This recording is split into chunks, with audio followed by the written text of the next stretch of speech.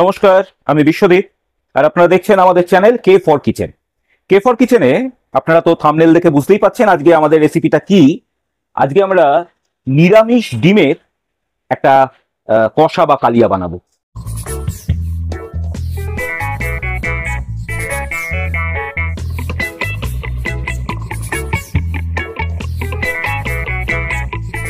এই যে নিরামিষ ডিম নিরামিষ ডিম ব্যাপারটা কি? সেটা কীভাবে করা যায়? সেটাই আজকে আমরা আপনাদের সঙ্গে শেয়ার করব। দেখুন, একটা জিনিস গরমকালে এইটা হচ্ছে গাঠি কচু, গাঠি। কচুর মধ্যে প্রচুর পরিমাণ ক্যালসিয়াম আছে, যেটা ন্যাচারাল ক্যালসিয়াম বাচ্চারা কচু বা গাঠি কম খেতে চায়, বেশিরভাগ বাচ্চাই খেতে চায় না। তাদের যদি একটু অন্যরকম ভাবে আমরা এটাকে প্রেজেন্ট করি, তাহলে তারা কিন্তু মজা করেই খাবে।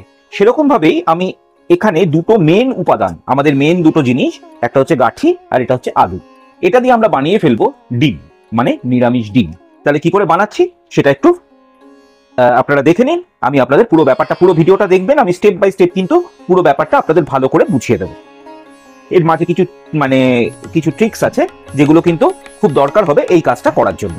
আচ্ছা এবার আমরা প্রথমে এই গাঁঠিটাকে মেখে নেব। এখন আমি গাঁঠিটাকে মেখে নিচ্ছি। এর মধ্যে আমরা দিয়ে দেবো আন্দাজ মতো নুন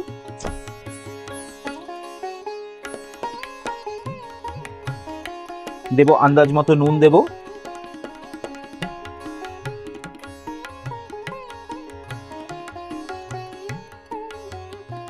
দিয়ে দেব সামান্য জিরের গুঁড়ো।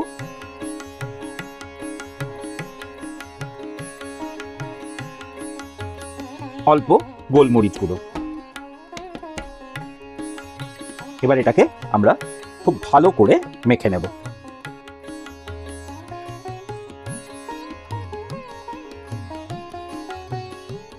গাঠিটা আমাদের মাখা হয়ে গেছে, এইভাবে মেখে নিয়েছি। এটা কিন্তু আরও কাজ আছে, সেটা আমরা পরে করছি। এবার আমরা এই আলুটাকেও ভালো করে কিন্তু ম্যাশ মানে ভালো করে মেখে নেব আর কি। আলুর মধ্যেও আমরা আন্দাজ মতো নুন, সামান্য গোলমরিচ দেবো, দিয়ে এটাকে মেখে নেব। আলুটা মেখে নেওয়ার পরে আমরা দু তিন ফোঁটা অরেঞ্জ ফুড কালারের মধ্যে একটু মিশিয়ে দেব।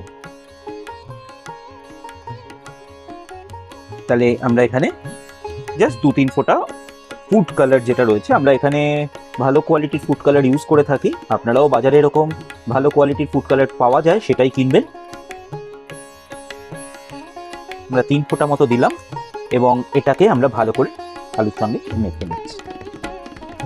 এই গাছির মধ্যে আমরা দু চামচ মতো ময়দা,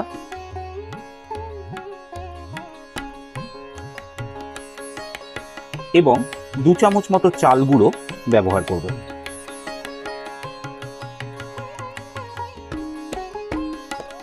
এটাকে আমরা ভালো করে কিন্তু এর সঙ্গে মিশিয়ে নেব। যাতে আমাদের এটা স্টিকি ভাবটা কমে যায় প্লাস এটাকে কিন্তু আমাদের একটা অন্য পদ্ধতিতে এটা ইউজ করতে হবে, তাই একটু চাল গুঁড়ো এখানে ব্যবহার করতে হবে। আমাদের এখানে এইভাবে গাঠিটা একটা ডো টাইপের তৈরি করা হয়েছে, আর এখানে আমাদের আলু সিদ্ধটা রয়েছে।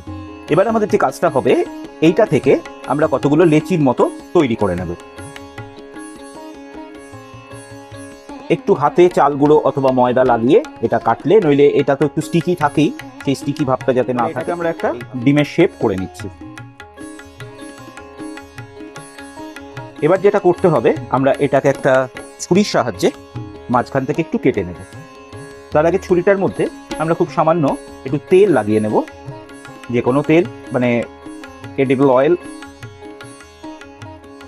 একটু ছুরিটাতে লাগিয়ে নেব। এটা আমরা মাঝখান থেকে কেটে নেব। একটু পরিশ্রম করতে হবে, কিন্তু পরিশ্রমের ফল সবসময় ভালোই হয়।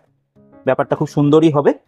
এইবার হাতে সামান্য ময়দা নিয়ে এখানে আমি গ্যাপ তৈরি করছি।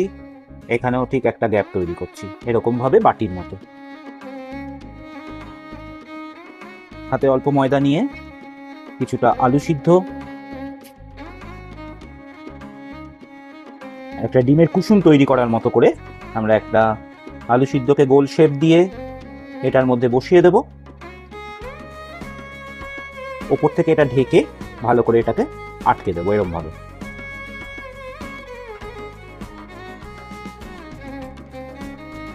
এবার হাতে আর একটু ময়দা দিয়ে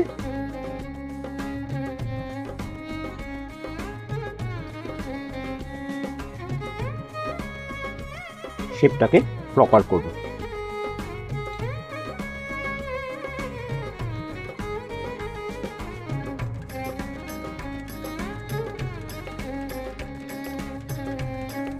একটা প্রপার শেপ দেওয়ার চেষ্টা করলাম। একটা ডিমের যেরকম শেপ হয়, সেরকম একটা শেপ তৈরি করে আমরা রাখলাম। এরকম করে বাকিগুলো কিন্তু আমরা তৈরি করে ফেলব।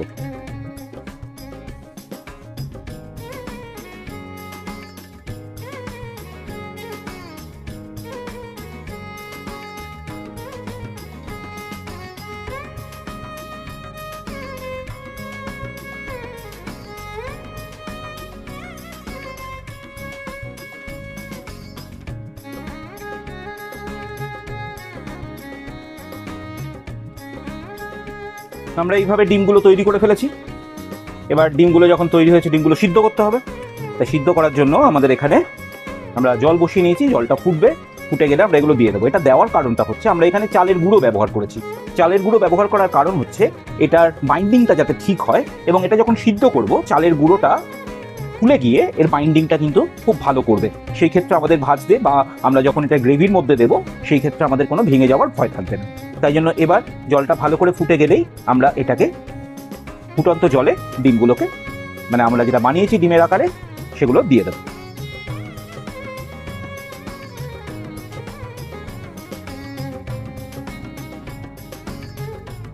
মোটামুটি মিনিট তিনে এটা ফুটন্ত গরম জলে ভালো করে এটা সিদ্ধ হয়ে গেছে।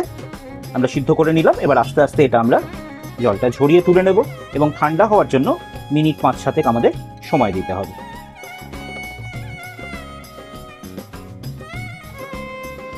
আমরা কড়াইয়ের মধ্যে আন্দাজ মতো তেল নিয়ে নিয়েছি। তেলটা গরম করে নেওয়া হয়েছে। তেল গরম হয়ে গেছে। আমরা এবার এইগুলো একটু ঠান্ডাও হয়ে গেছে, যেটা আমরা নামিয়ে নিয়েছি, সেটা আমরা এবার ভেজে নেব।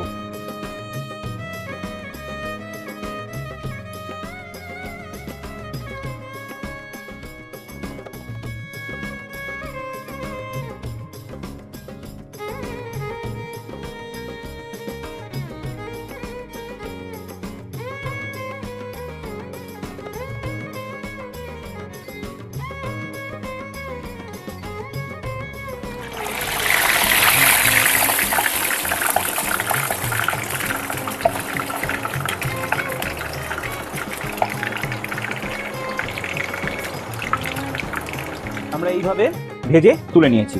মনে হচ্ছে না একদম ডিম, একদম ডিমের মতো। বাচ্চারা কিন্তু ভীষণ খুশি হবে, এইরকম রেসিপিটা তো মানে করতে পারলে একটু কষ্ট হবে মানে একটু পরিশ্রম আছে, কিন্তু পরিশ্রমের ফল কিন্তু ভীষণই ভালো হবে এবং ভীষণই টেস্টি একটা খাবার আপনারা অবশ্যই কিন্তু ট্রাই করবেন। এবার আমরা যেটা করব গ্রেভি গ্রেভি করার জন্য আমি প্রথমে কড়াইয়ের মধ্যে এক থেকে দেড়, এক টেবিল চামচ মতো তেল দিলেই হবে। রিফাইন্ড অয়েল এক টেবিল চামচ দিয়ে আমরা একটু গরম করে নিয়েছি। কিছুটা গোটা জিরে দিয়ে আমরা পেঁয়াজগুলো এর মধ্যে দিয়ে দিচ্ছি। পেঁয়াজগুলো ডুমো ডুমো করে কেটে নিয়েছি। দুটো পেঁয়াজ এইভাবে ডুমো ডুমো করে কেটে নিয়ে আমরা পেঁয়াজটা একটু নাড়িয়ে নেব।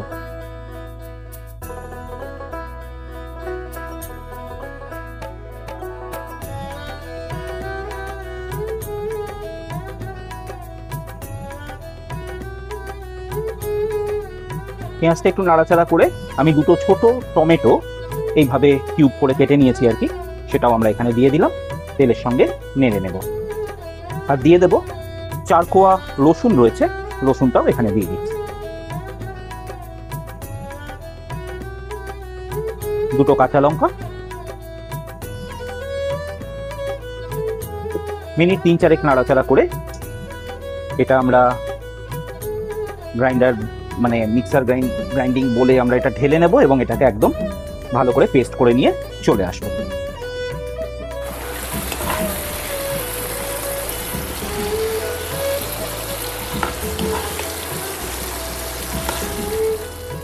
আমরা পেঁয়াজ, টমেটো, কাঁচা লঙ্কা, রসুন ওটা পেস্ট করতে দিয়ে দিয়েছি। আর এখানে কড়াইয়েতে তেল বসিয়ে নিয়েছি, তেল গরম করেছি, মোটামুটি দু টেবিল চামচ মতো। আমাদের এখানে আলু আছে, আলুগুলোকে আমরা এইভাবে একটা আলুকে চার ভাগ করে কেটে নিয়েছি। এবার এটাকে আমরা একটু ভেজে নেব। একটু লাল লাল করেই ভেজে নেব।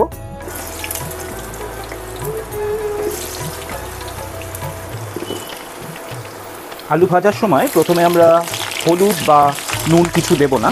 মোটামুটি আধ ভাজা হওয়ার পর আমরা এখানে একটু হলুদ এবং নুন মিশিয়ে নেব। আমাদের আলু ভাজা হয়ে গেছে। আর এইভাবে আমরা পেস্ট করে নিয়ে চলে এসেছি। এবার প্রথমে আমরা আলুটা তুলে নেব। একটু লাল লাল করেই আলুটা ভাজতে হবে আর কি। আলু ভেজে তোলা হয়ে গেছে। এবার আলু ভাজার যে তেলটা ছিল, যার মধ্যে আলুটা ভেজেছিলাম, সেখানে কিছুটা তেল ছিল। আর এক টেবিল চামচ তেল আমি এখানে দিয়ে দিয়েছি। তেল গরম হয়ে গেছে, একটা তেজপাতা দিয়ে দিলাম, একটা শুকনো লঙ্কা চিড়ে দিয়ে দিলাম, আর সামান্য একটু জিরে। এটা দেওয়ার পর, এই যে আমরা বাটাটা নিয়ে এসেছি, এটা এর মধ্যে মিশিয়ে দিই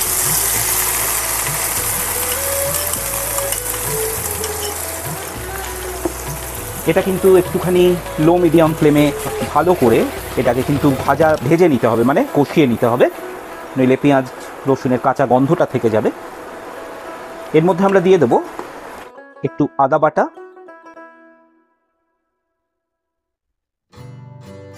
মোটামুটি এক চামচ পরিমাণ।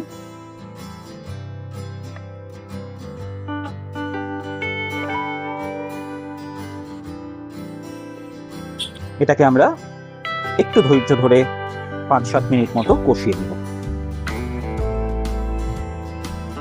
এখানে আমরা পেঁয়াজ, রসুন, টমেটো, বাটাটাকে ভালো করে কষিয়ে নিয়েছি। এবার আমরা এখানে মশলা মেশাবো। মশলার জন্য কিছুটা হলুদ, আধ চা, আধ চায়ের চামচ মতো মানে হাফ চায়ের চামচ। আর এটা হচ্ছে কাশ্মীরি লঙ্কার গুঁড়ো। এটাও মোটামুটি হাফ চায়ের চামচ বা একটু বেশি। এক চায়ের চামচ পরিমাণ চিনি। ধনে গুঁড়ো হাফ চায়ের চামচ পরিমাণ। জিরে গুঁড়ো হাফ চায়ের চামচ পরিমাণ।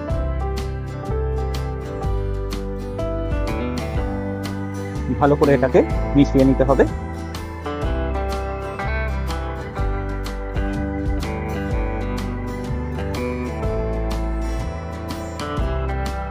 দিয়ে দেবো আন্দাজ মতো নুন।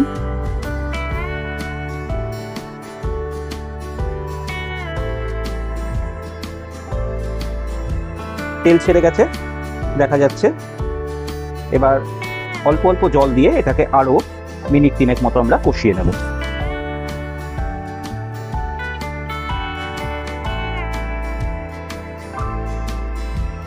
সামান্য জল দিয়ে দিয়ে এটাকে মিনিট তিনেক আমরা কষিয়ে নেব। আমরা ভাজা আলুগুলো দিয়ে দিচ্ছি এর মধ্যে।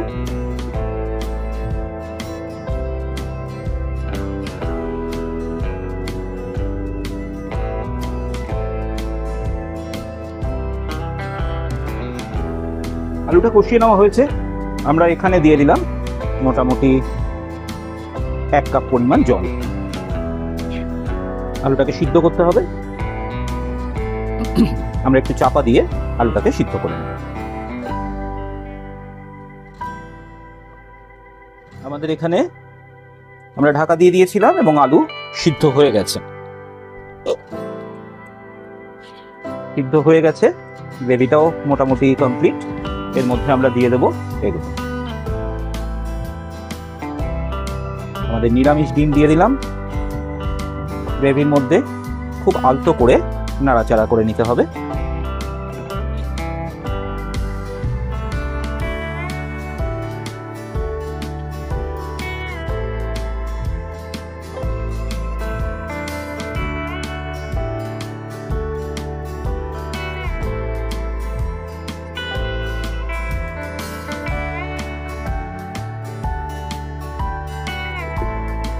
এবার এখানে আমরা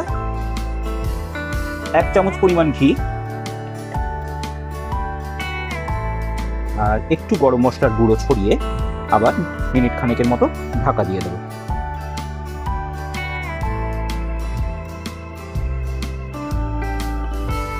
মিনিট খানেকের জন্য ঢাকা দিয়ে দিলেই আমাদের নিরামিষ ডিমের রেসিপি কমপ্লিট হয়ে যাবে। আমাদের এটা ঢাকা দিয়ে রেখেছিলাম। মিনিট খানেক ঢাকা দিয়ে ঢাকাটা খুললাম। সুন্দর স্মেল বেরোচ্ছে, আপনারা কিন্তু অবশ্যই ট্রাই করবেন। হালকা করে একটু নেড়ে নেব। তাহলেই আমাদের রেডি হয়ে যাবে। নিরামিষ ডিমের কষা বা আপনারা যদি বলেন কালিয়া, যাই বলুন, সেইভাবে আমরা এটা রেডি করে ফেলব। এবার এটা আমরা তুলে ফেলব। শুধু একটা চেরা কাঁচা লঙ্কা এখানে দিয়ে দিলাম।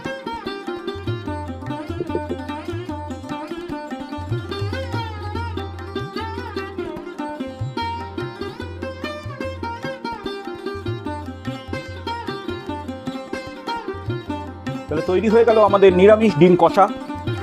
তা এইভাবে আপনারা কিন্তু অবশ্যই ট্রাই করবেন। আর এইভাবে গাঠি বা কচু, যেটাকে আপনারা খুব সহজেই বাচ্চারা বা যারা খেতে চায় না, তাদেরকে এরকম রেসিপি করে আপনারা পরিবেশন করলে তারা দারুণ, খুব ভালোভাবে খাবে। ভীষণই টেস্টি একটা রেসিপি অবশ্যই ভিডিওটা লাইক করে দেবেন। এটা আমরা আশা করছি আপনারা নিশ্চয়ই লাইক করবেন। শেয়ার করে দেবেন আপনাদের আত্মীয় স্বজন বন্ধু বান্ধব সকলের মধ্যে। আমাদের রন্ধনে বন্ধন দেখতে ভুলবেন না। রন্ধনে বন্ধন যেখানে প্রতিভা এবং রান্না, তার সঙ্গে তৈরি হয় আমাদের নতুন বন্ধুত্ব।